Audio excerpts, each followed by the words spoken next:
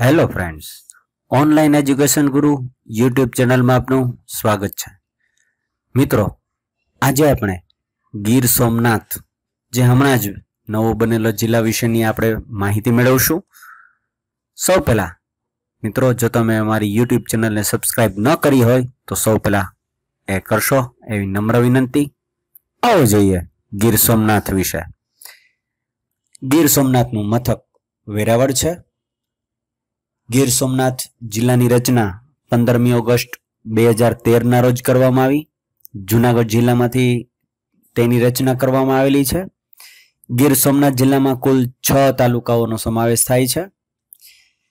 ગીર સોમનાથ જિલ્લાની વિશેષતાઓ જોઈએ તો બાર જ્યોતિર્લિંગોમાંનું પ્રથમ જ્યોતિર્લિંગ સોમનાથનું મંદિર અહીંયા આવેલું છે.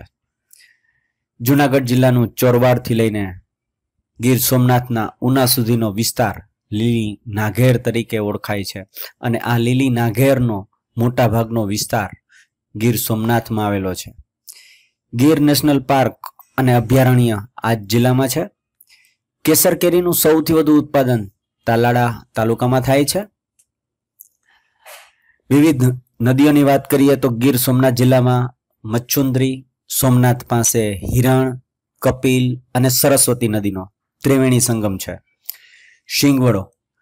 આવી બધી નદીઓ ત્યાં આવેલી છે. ગીર નેશનલ પાર્ક અને અભયારણ્ય ઉના તાલુકામાં છે.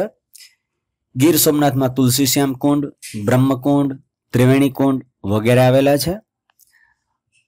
પ્રભાસ પાટણ મ્યુઝિયમ સોમનાથ ખાતે આવેલું છે. વિવિધ સંશોધન કેન્દ્રોની વાત કરીએ તો Gujarat ecology and environment research foundation સાસણગીરમાં છે. Regional sugarcane research station Kodinar ખાતે આવેલું છે. વિવિધ લોકમેળામાં જોઈએ તો શ્રાવણ માસના દરેક સોમવારે સોમનાથના મંદિરમાં ઉત્સવ ઉજવાય છે અને કારતક માસની પૂનમનો સોમનાથનો મેળો ખૂબ જ પ્રસિદ્ધ છે. ગીર સોમનાથ જિલ્લાના જોવાલાયક સ્થળોમાં વેરાવળ, સાસણગીર, તુલસીશ્યામ, અહેમદપુર માંડવી, સોમનાથ, ભાલકા તીર્થ વગેરે બધાનો સમાવેશ થાય છે. મિત્રો, તમને આ માહિતી જો ઉપયોગી થઈ હોય, તો અમારી યુટ્યુબ ચેનલને સબસ્ક્રાઇબ કરવાનું ચૂકશો નહીં. થેન્ક યુ ફરી મુલાકાત લેતા રહેશો.